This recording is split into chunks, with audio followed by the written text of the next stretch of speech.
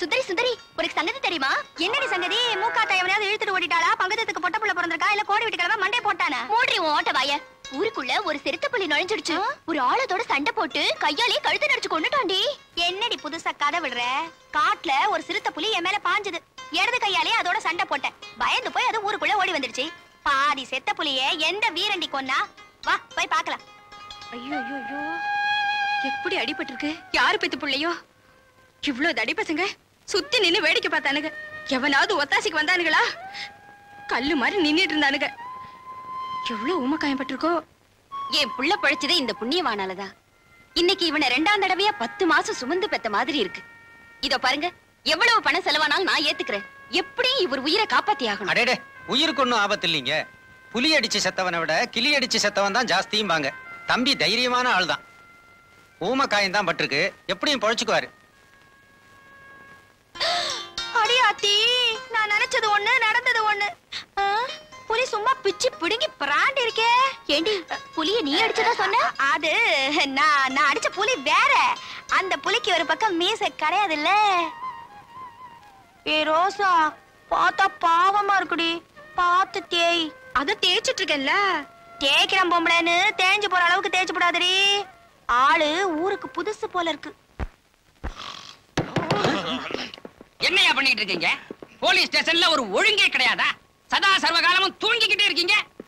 ஏயா வேலை நேரம்னு வெளியே போர்டு வைக்கணும்னு சொன்னேன் கேட்டீங்களா? போர்டு எழுத கொடுத்துருக்குங்க. பாத்தியா வேலை நேரத்துல வந்து தொந்தரவு பண்றாரு. ஆமா எழுதி மாட்டிட்டா மட்டும் ஒழுங்கா வேலை பாத்துங்களாக்கும் ஏன் சார் எவன் ஊருக்குள்ள புதுசா வர்றது போறதுன்னு ஒரு வரமுறையே கிடையாதா? எவனோ ஒருத்தன் ஊருக்குள்ள புதுசா வந்தானா புளிய அடிச்சானா? ஆளை பார்த்தா என்னமோ பஞ்சாப்ல இருந்து நேரா ஷேவிங் பண்ணிட்டு இங்க வந்திருப்பான் போல இருக்கு. அந்த புலிய நிஜமாவே வந்து அடிச்சானா? என்ன நாத்தனாரதியா சார் நீங்கள் இந்த ஊர் ஜனங்க மாதிரி புரியாமையே பேசுறீங்க. சார் அவனை பார்த்தா நல்லவ மாதிரி தெரியல. உன்ன மாதிரி இருக்கிறானா? இந்த விளையாட்டு தானே வேணாங்கிறது. இன்னைக்கு புலி அடிச்சான் நாளைக்கு ஆள் அடிப்பான் அப்புறம் ஊரையே கொள்ளை அடிப்பான் அவனால இந்த ஊருக்கு என்னென்ன தீங்கு விளைய போகுதுன்னே தெரியல. சார் எதுக்கு அவன் மேல ஒரு கண்ணை வைங்க? கண்ண இல்லையா. கண்ணையே வைக்கிறேன். ஐயா. இன்னைக்கு டியூட்டி முடிஞ்ச உடனே ஆ. நேரா உங்க வீட்டுக்கு வரதா இருந்தே நானு. வீட்டுக்கா எதுக்கு? என்ன. மாச கடைசி. துண்டு விழுந்துருச்சே. துட்டு வேணுங்கும் போது துண்டு விழுந்துருச்சுப்பீங்க. கொடுத்த துட்டை திருப்பி கேட்கும் போது துண்டை விரிச்சிருவீங்களே. என்னையா ரொம்ப சலிச்சுக்கிற? அப்புறம்? உழைச்சு சம்பாரிச்ச பணமா இது? பின்ன? ஊரை கொள்ளையடிச்ச பணம் தானையா? ஒண்ணு கேள்விப்பட்டனே. எஸ்பி மார்னிங் சார் அதுல சார் எஸ்பி வர்றதா கேள்விப்பட்டனே. அது மெய்தானா? அட சட். எஸ்பி வந்தா முதல்ல உடனே விஷயம் தெரியும். அந்த விசுவாசம் இருந்தா சரிதான். சாயந்தரம் வாங்க. நீங்க கேட்ட துண்ட வேட்டியா தந்துடுறேன். எங்களுக்கும் ஓரமா கிழிச்சு தரேன். வேலையை பாருங்கயா ஆ? என்னடி அம்சு? இந்த நேரத்துல கடையில இருக்க? வழக்கமா ஆத்தங்கரையில தண்ணி எடுக்க போயிடுவியே. சரி சரி. எங்கேயா சிறுத்தையை கொண்ட அந்த சூரப்புலி? ராஜப்பா உன்னை தேடிக்கிட்டு இன்னொரு சிறுத்தை வந்திருக்குது. வந்து பாரு. அட போண்டா குண்டா இருக்கே ஒன்னு எடுத்துக்கிறேன். காசு சாப்பிட்டுருக்கிறேன் என்ன? பேசவே கூடாது. என் பின்னாடியே வாயா. எங்க? என்னது? எங்கேயா. நான் புறப்படுன்னு சொன்னா மாடு கூட எங்கேன்னு கேட்காது. நீ கேக்குறிய யோ உனக்கு கை இருக்காயா? இருக்கு. இந்த கையோட தான் கூட்டிட்டு வர சொன்னாரு துரசிங்க ஐயா. புறப்படே. நான் சொல்லல அவருதான். தரிசிக்க போன தெய்வம் தந்தி கொடுத்து வர சொன்ன மாதிரி. போயிட்டு வாப்பா. பாப்பலாம். என் கூட வரதுன்னா ஒரு நிபந்தனை. என்ன? கேள்வி கேட்க கூடாது பேசக்கூடாது. நான் சொல்றதுக்கெல்லாம் ஊன் கொட்டிக்கிட்டு வரணும். புரியுதா? சரி. சரியில்லை. ம். அது சரி. உன் கொடுறதுக்கு முன்னாடி உன்னை ஒரே ஒரு கேள்வி கேட்கலாமா? போனா போகுது. ஒரு கேள்வி தானே கேட்டுக்க. இப்படி கண்ணுல விரல விட்டு காது வரைக்கும் ஆட்டுறியே நீ யாரு? நான் யாரா. இந்த பாரியா நான் வளவளன்னு பேச மாட்டேன் நறுக்குன்னு பேசுவேன் நாலு வார்த்தை பேசுவேன். ஆனா என்ன ஊருக்குள்ள வாயாடின்னு சொல்லுவாங்க. இந்த ஊர்ல உள்ள மரஞ்செடி கொடிகளை கேட்டா கூட சொல்லும் சுந்தரி யாருன்னு. இருந்தாலும் சொல்றேன். என் ஆத்தா தூத்துக்குடி அப்பன் பரமக்குடி ரெண்டு பேருக்கும் கல்யாணம் ஆனது கள்ளக்குடி நாங்க பொழைக்க வந்தது இந்த கடம்பக்குடி. இந்த அம்மா அவதாரமானதும் இந்த ஊர்ல தான். ம், நான் பிறந்ததும் எங்க ஆத்தா ஜன்னில செத்தா ஒரு வருஷம் கழிச்சு எங்க அப்பா தண்ணியில செத்தா. என்ன பாத்துக்கிறதுக்கு ஒரு ஆயா இருக்கா? அவதான் இப்பவும் எனக்கு தாயா இருக்கா. அனாதையா இருக்கிறது பாவம்பாங்க ஆனா என்ன பொறுத்தவரையிலும் சௌகரியம் தான் இந்த ஊர்ல இருக்கிற மனுஷங்களெல்லாம் எனக்கு தெரியும். மாடுங்களுக்கு என்ன தெரியும்? காட்டுக்குள்ள பாட்டு கம்பஞ்சோறு மோரு மத்தியான குளியல் மாலையில வீடு. இதுதான் என் பொழப்பு. எப்படி? நல்லா இருக்கு. ஆமா துரசிங்க ஐயா கிட்ட நீ என்ன கேட்க போற? ஊசியும் நூலும். ஊசியும் நூலுமா? எதுக்கு? உன் கிழிஞ்ச வாய தைக்க? அம்மா? அம்மா? வீராதி வீரன் சூராதி சூரன் நொண்டி புலியை அடித்துக் கொன்ற எலி குஞ்சு வந்திருக்கிறார். என்ன என்ன என்ன கை நீளுது? ஆமா. வாங்க உங்களை பார்க்கணும்னு தான் எங்க வீட்டுக்காரர் வர சொல்லியிருந்தார். உள்ள வாங்க. வாங்க அங்கிள். வா புலம்பிட்டா போ தனியா. அப்பா புலி அடிச்சு கொன்னாரே.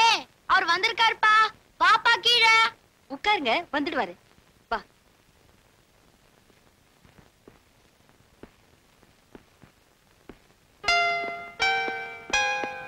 வணக்கங்க. வணக்கப்பா. நான் உயிருக்குற நேசிக்கிற என் மகனை காப்பாத்திருக்கேன். ரொம்ப நன்றி. உன் பேர் என்னப்பா? ராஜப்பா. புலியோட சண்டை போடுற அளவுக்கு உனக்கு வலிமை இருக்குன்னா உனக்கு என்னென்ன தெரியும்? மல்யுத்தம் சிலம்பாட்டம் சோடா பாட்டில் செயின் கராட்டே இந்த மாதிரி. ஓ உன் ஹைட் என்னப்பா? Five ten I see body நாற்பது இருக்கும். வெரி குட் நீ கருப்பா சிவப்பா? என்ன சார் இது? எதிர்க்கவே நிக்கிறேன் தெரியலையா.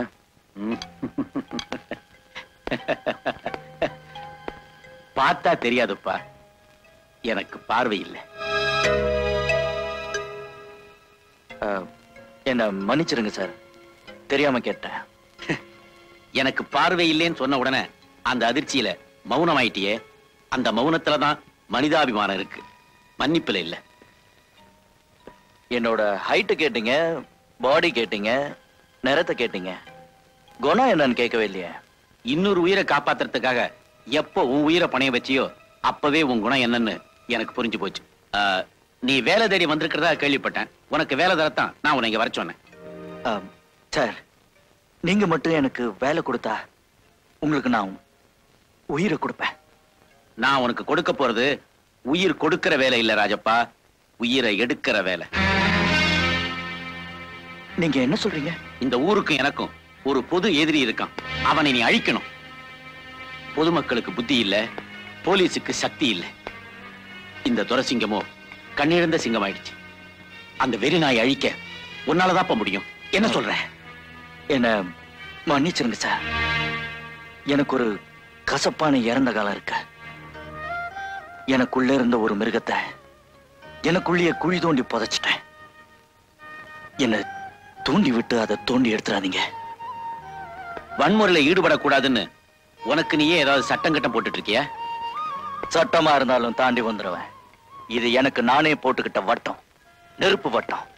நிச்சயமா என்னால தாண்டி வர முடியாது. நிச்சயமா முடியாது. சத்தியமா முடியாது. சரி அந்த வட்டத்தை விட்டு வெளியே வான்னு நான் உன்னை வற்புறுத்த முடியாது. ஆனா ஒண்ணு மட்டும் உன்னை கேட்டுக்கிறேன். உன் திறமைய வலிமைய மனோபலத்தை என் மகனுக்காவது கத்துக்கொடு.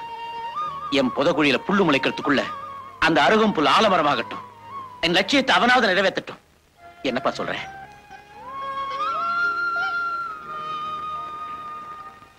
சரிங்க. அக்கா அக்கா ரயில் விளையாட்டு விளையாடலாம்க்கா ஓ விளையாடலாமே பசங்களா எல்லாரும் பின்னாடி நில்லுங்க.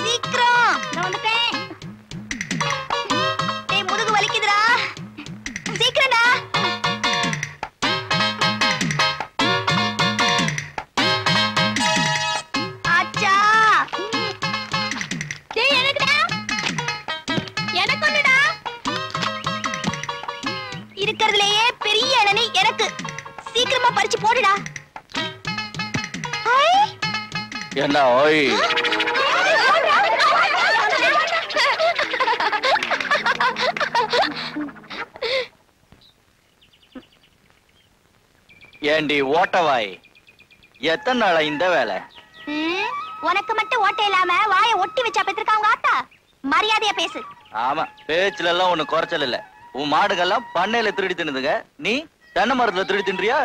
யார பாத்தியா திருடிங்கிற? உன்னதான் தென்னை மரத்துல என்னடி பண்ணிட்டு இருக்க? ஆ என் மாட்டுக்கு புல்லு புடுங்கிட்டு இருந்த. ஏன்? உன் தலையில தான் புல்லு இருக்கே பிடிக்க போடுறது. கிண்டலா? தலையில எப்படியா புல்லு இருக்கும் தென்னை மரத்துல புல்லு இருக்கும்போது உன் தேங்காய் மண்டையில புல்லு இருக்காதா? எனக்கு அதெல்லாம் தெரியாது. உன் மாடுகள்லாம் வாழைத்தோப்ப காலி பண்ணிருச்சுங்க.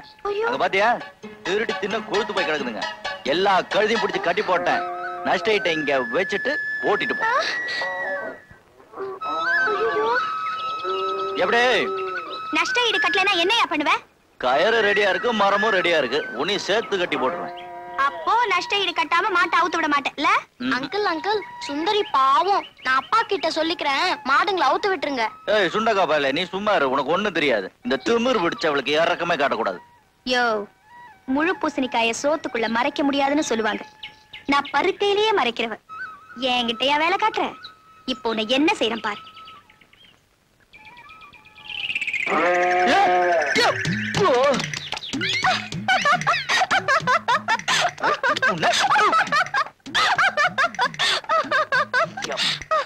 சிரிக்கிற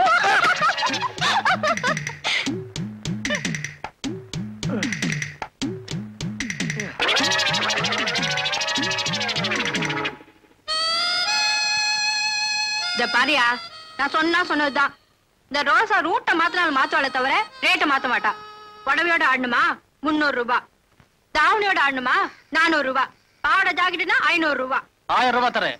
அதுக்கு எப்படி ஆடுவேன்னு கேட்டு சொன்னார் ஐயா. ஐயாவா? அதான் நம்ம சிங்கப்புரம் பிராசு. அதுவா? ஐயாவுக்கு இளவதா இல்லையே தவிர மீதி எல்லாமே இருக்கு. என்ன வயசுதான் எண்பதுக்கு தொண்ணூறுக்கு நடுவுல சாகப்போற காலத்துல பெருசுக்கு சில ஆசைங்க. மத்தியானமான கோழி குழம்பு சாப்பிடணும். சாயந்தரமான அல்வா சாப்பிடணும். ஒரு நாளைக்காவது இந்த ரோசாவுடைய ஆட்டத்தை தனியா பார்க்கணும். அதுதான் அவருடைய லட்சியம். சரின்னு சொல்லு ரோசா. யோ எந்திரியா. ஏன்? இப்பவே போலாங்கிறியா? பெருசு பகல்ல தூங்கிட்டு இருக்கோம் யோ! நான் ஒண்ணு படிதண்ட பத்தினி இல்ல எனக்கும் ஒரு வரமுறை இருக்கு. இந்த ரோசாவை மோந்து பார்க்கணும்னா கூட ஒரு அந்தஸ்து வேணியா? ஓனாயும் பண்ணியும் வந்து உரைச்சு பார்த்தா மூக்குல முள்ளுதான் குத்தும். ஓ அட்வான்ஸ் எடுத்துக்கிட்டு ஆள விடு. பெரிய இடம் பாப்பா. பெருசு கூட்டுது சின்னது கூட்டுன்னு இன்னொரு தடவை இந்த பக்கம் வந்த அப்புறம் இந்த என்ன நடக்கும்னு எனக்கு தெரியாது ஆமா சொல்லி. ஏய். போயாண்ணா ஏய் என்ன கலாட்டா ஆ? வேற ஒண்ணும் இல்லண்ணே. ரோஜா பூ பறிக்க வந்தேன். கையில முள்ளு குத்துருச்சு. வரேன். ரோஜா என்னாச்சு? ஒண்ணு இல்லையா இது ராசா விட்டு கட்டுலு. இதுல காசு கொடுத்து படுத்துக்க. ஒரு ஓனம் ஆசைப்பட்டுச்சு. அதான் அடிச்சு விரட்டிட்டேன். இந்தாயா. இன்னைக்கு பிடிச்ச யாராவுல குழம்பு பண்ணி வச்சிருக்கேன். சாப்பிட்டு போறது. நான் எஸ்டேட்லயே சாப்பிட்டேன். அப்புறம் ராத்திரிக்கு?